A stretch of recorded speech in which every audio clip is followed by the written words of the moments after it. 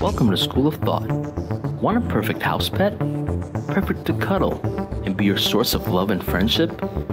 Sure, just not this one.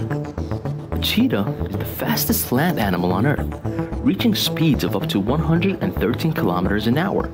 They can accelerate 0 to 100 kilometers in just 3 seconds.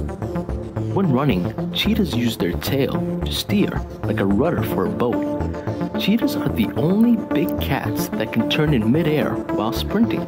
Such wondrous animals who are capable of extraordinary feats, yet are facing a very problematic, drastic issue extinction.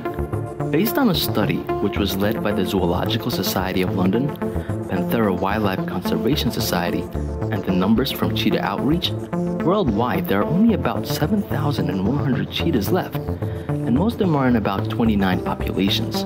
Already extinct in 20 countries, there are less than 2,000 cheetahs now in protected areas.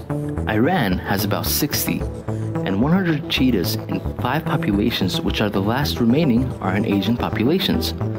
Being greatly endangered and few in number, thus leads them to great vulnerability. Being in need of a large amount of space for their habitat, majority of the cheetah's livable environment falls outside of the protected areas. Human expansion, illegal trade of various cheetah furs, even being sold as exotic pets, are all of the issues that are the cause to their vulnerability and endangerment. To quote a director of Panthera's cheetah program, Dr. Kim Young Overton, quote, The takeaway from this pinnacle study is that securing protected areas alone is not enough. We must think bigger, conserving across the mosaic of protected and unprotected landscapes that these far-ranging cats inhabit if we are to avert the otherwise certain loss of the cheetah forever. End quote. In order to have them survive, we need to give these cats their space. Wow, I wouldn't want these kitties to disappear. Just look at those lovely eyes.